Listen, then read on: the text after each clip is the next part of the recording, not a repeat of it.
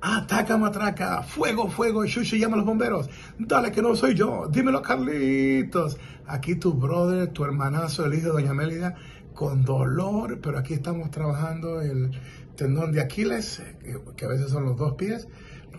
recuerdo de mis 20 años de luchador y la rodilla derecha completamente inflamada. Son los gajes del oficio, pero así mismo no nos detenemos, seguimos haciendo nuestro trabajo. Y tengo una conversación que tuvo Seth Freaking Rollins con BT y especialmente con Ariel eh, eh, la conversación me gustó porque define lo que siente un hombre agradecido. Y las palabras de elogio de Seth Freaking Rollins con Vince McMahon entre algo que yo anoté decía que había mucho amor, muchos respetos, que había, había sido cultivado. Y también ah, eh, habló de que había una buena relación con Vince McMahon. A lo largo de los años Seth freaking Rollins eh, hablando sobre Vince McMahon y dijo, si no hubiera sido por Vince McMahon y WWE, yo no tuviera esta vida que tengo, no tuviera la esposa que tengo, ni la criatura que tengo, o sea, su hija.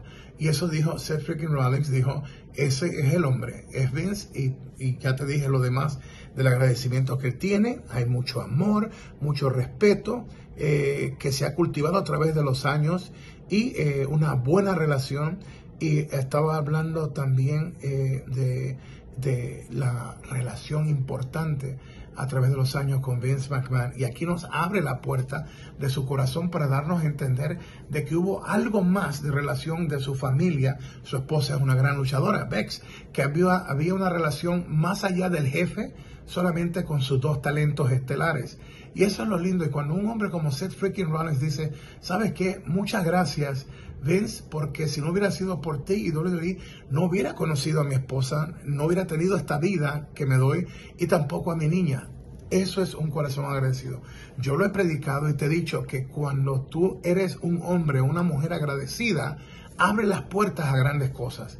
Un corazón agradecido se abre puertas para más bendiciones. Y creo que Seth Freaking Rollins pudo haber sido eh, más eh, serio, más eh, quizás eh, guardarse un poco lo que sentía, porque en estos momentos el nombre de Vince McMahon no es el nombre más favorable después del escándalo de lo que se alega que hizo. Entonces, cuando tú de momento eres un Seth freaking Rollins y en estos momentos donde no está muy bien visto el nombre de Vince McMahon, sale este hombre a hablar de la relación, cómo se ha cultivado por años y cómo le agradeció a Vince McMahon, para mí vale mucho. ¿Sabes por qué? Porque todo el mundo habla bien de alguien que está arriba, que está en la cima, que es el jefe más grande, pero cuando él renunció y salieron las alegadas cosas que él había hecho, los millones para silenciar relaciones que tuvo y un jefe de personal que alegadamente de recursos humanos, John Laurenetti se dice que él estuvo ahí alegadamente. Entonces, de momento que una estrella principal como Seth freaking Rollins hable bien de Vince McMahon, bravo, bravo Seth, porque un corazón agradecido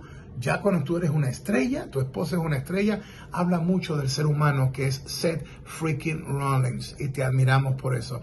Recuerda nuestro, nuestro café, el más reciente, el que está hecho en Costa Rica, la tierra de pura vida, Café Lucha Libre Online .com es el lugar para que tú pidas ese café o los demás cafés que están de Chiapas, México, de Colombia, está también de Puerto Rico. Lo mejor en café, cafeluchalibreonline.com.